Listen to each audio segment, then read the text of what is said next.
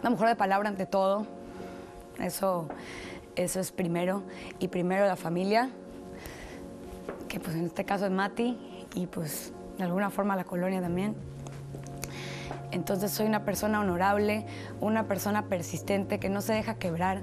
Digamos que si la vida te pone esta frase que dice que si te pone limones, que haces limonada, yo soy mucho de eso, como de armas tomar de que, ok, venga la vida, a ver qué, qué tienes que traerme, yo, yo estoy lista para, para recibirlo. Bueno, alguien que nadie conoce desde ese, ese interior mío que tengo, que de alguna forma es hasta bien espiritual, yo todo se lo encomiendo mucho a mi Virgencita de Guadalupe y si bien pues de repente termino teniendo actitudes o haciendo cosas que, que a la Virgencita no le gustaría, eh, siempre consulto todo eso con ella. Yo creo que todavía estoy en una etapa en la que me falta mucho por crecer, mucho por aprender.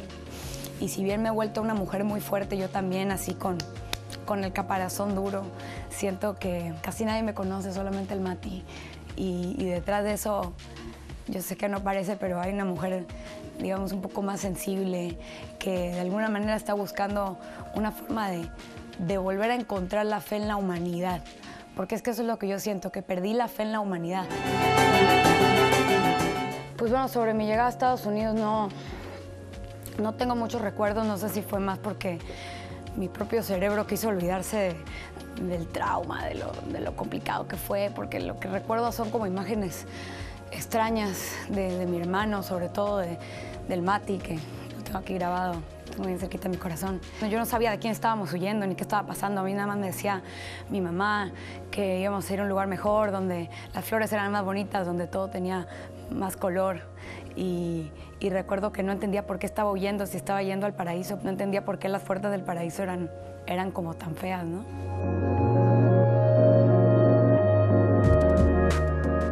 Ha sido complicado porque quedan vacíos después de que la única figura que tenías como, como familia, que es la, la mamá, la, la abuelita, se va y luego te encuentras enfrentándote al mundo junto con tu hermano si tratas de encontrar de alguna forma sentirte aceptado, ¿no? Sentirte querido. Y aunque nos teníamos a los dos, sí, sí nos hacía falta ese elemento como de la familia. Y, mi hermano, en su, en su necesidad de protegerme a mí, porque siempre le estuvo velando por mi seguridad, por mi, por mi felicidad, por mi salud, pues sí, se encontró con, con una familia que de alguna manera sustituyó eso que nos hacía falta a nosotros que es, que es la colonia. Fue un poquito encontrar las enseñanzas de mi mamá en un grupo que pues tal vez no tiene todo lo que yo espero, pero tiene lealtad. Y pues se volvieron de alguna forma mis cuates y, la gente a la que yo le debía rendir lealtad.